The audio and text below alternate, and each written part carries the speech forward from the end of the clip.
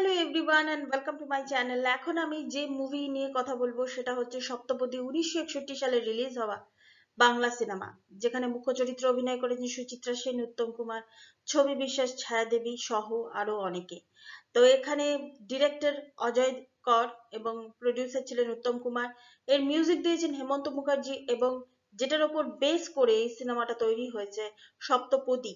এই তার রাইটার ছিলেন তারাশঙ্কর বন্দ্যোপাধ্যায়। প্রথমে আমাদের একটা জিনিস জানতে হবে, সপ্তপদী কথাটা আমরা কখন ব্যবহার করি?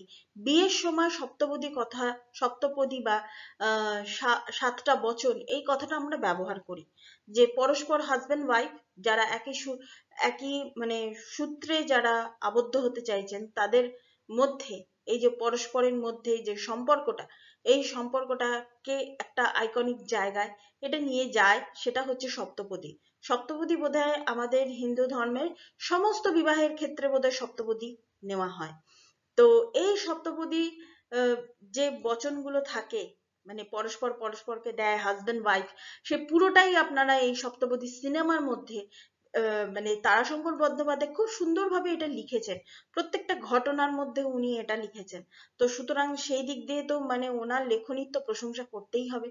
এবং সবার শেষে যখন একটা সিন আমি পুরো সিনেমাটার কথা আমি বলছি না, একটা সিনে যখন একদম শেষ সিনে যখন বলা হচ্ছে যে আপনার অপারেশন করতে দিচ্ছিলেন না, কিন্তু ডাক্তার, কিন্তু যখন মানে কৃষ্ণেন্দু দ্যাট মিনস উত্তম কুমার, উত্তম কুমারের চরিত্রটার নাম এখানে কৃষ্ণেন্দু কৃষ্ণেন্দু বলেন যে আমার স্ত্রীর জীবন মরণের সমস্ত দায়িত্ব আমার তো এটাই হচ্ছে মানে সপ্তপদীর হচ্ছে মূল কথা।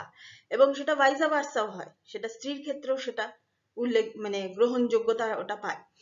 তো যাই হোক এই সিনেমাটাতে কৃষ্ণেন্দু এবং রিনা ব্রাউনের মধ্যে প্রেম, তাদের নাটকের দৃশ্য, যে দৃশ্যটার কথা তো বলতেই হবে মানে ওটা না বললে বোধহয় খুব ভুল হবে বলা। সেটা হচ্ছে ওথেলো, নাটকের ওথেলো এবং ডেসডিমোনা একটা সিলেক্টিভ সিন এখানে আছে।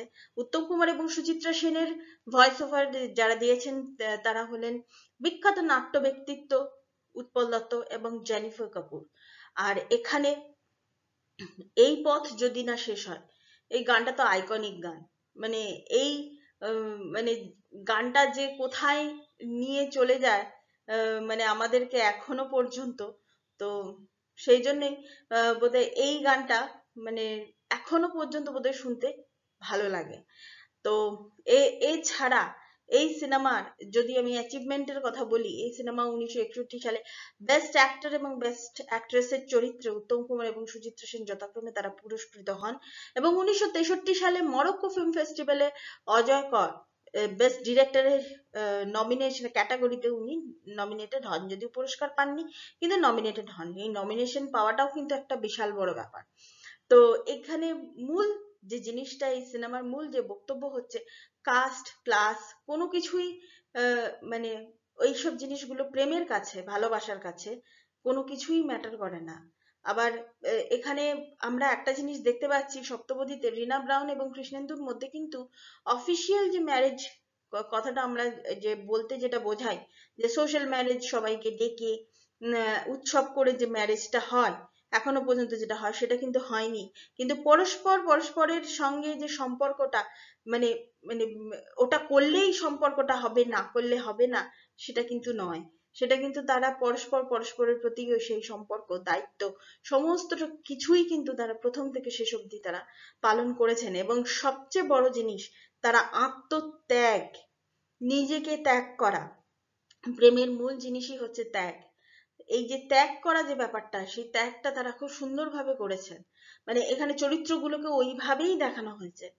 তো সুতরাং এই সিনেমাটার সম্বন্ধে বোধহয় বলতে গেলে ঘণ্টার পর ঘণ্টা বোধহয় কেটে যাবে। এই সিনেমাটার প্রত্যেকটা সিন নিয়ে যদি আমরা বলি, সেখানে বলতে গেলে মানে কি বলব? একদিকে কুপমণ্ডকতা, রক্ষণশীলতা, অন্যদিকে আধুনিকীকরণ এই সব জিনিসগুলো নিয়ে মানে একটা, আহ মানে কি বলব? একটা মাঝখানে একটা দোলাচল, একটা পরিবেশ তৈরি হয়েছে এই সিনেমাটাতে। এবং সেখান থেকে মানে একজন প্রেমিক এবং একজন প্রেমিকা কীভাবে নিজেদের প্রেমকে খুঁজে পেয়েছে এবং সেটাকে তারা যথার্থ রূপ দিয়েছেন। তো এটা নিয়েই হচ্ছে সপ্তপদী সিনেমাটা। তো ওই জন্যই বললাম, যত বলব তত কম হবে এই সিনেমাটা সম্বন্ধে। আর আর একটা জিনিস যেটা আমার না বললেই নয়, সুচিত্রা সেনকে এখানে আমার এত ভালো লেগেছে, আমাদের এখনকার দিনের আচ্ছা আচ্ছা হিরোইন মানে সুন্দরী হিরোইনের থেকে মানে অনেক বেশি সুন্দর মনে হয়েছে সুচিত্রা সেনকে। আমরা বর্তমানে কাকে মানে মোটামুটি সুন্দরী হিরোইন হিসাবে মানে বা নায়িকা হিসেবে, অভিনেত্রী হিসেবে আমরা সামনে রাখি? যেমন ঐশ্বরিয়া রায় তারপর আরও আরও যদি মডার্ন এজে যদি আমরা বলি ইয়ামি গৌতম, তারপর আরও বেশ কিছু হিরোইনের নাম আছে, তাদেরকে আমরা সুন্দরী হিরোইন বলে মানে একটা ডিভাইন বিউটি বলে আমরা ডেসক্রাইব করি। আপনারা শুধু সপ্তপদীতে একবার শুধু সুচিত্রা সেনকে দেখবেন। সুচিত্রা সেনকে এত সুন্দর লেগেছে, ওটা ব্ল্যাক অ্যান্ড হোয়াইটে তাতে অত সুন্দর লেগেছে। জাস্ট ইমাজিন ওটা যদি কালারে হতো সিনেমাটা তাহলে কতটা সুন্দর লাগতো সুচিত্রা সেনকে। তো মানে মানে অদ্ভুত রকমের সুন্দর দেখতে লেগেছে সুচিত্রা সেনকে এখানে। আর ওয়েস্টার্ন ড্রেস পরে তো রিনা ব্রাউন নামটা তার। তো সে তো অ্যাংলো ইন্ডিয়ান। তো ওয়েস্টার্ন ড্রেসে তাকে আরও সুন্দর লেগেছে। মানে পুরো সিনেমা জুড়েই তাকে খুব সুন্দর লেগেছে।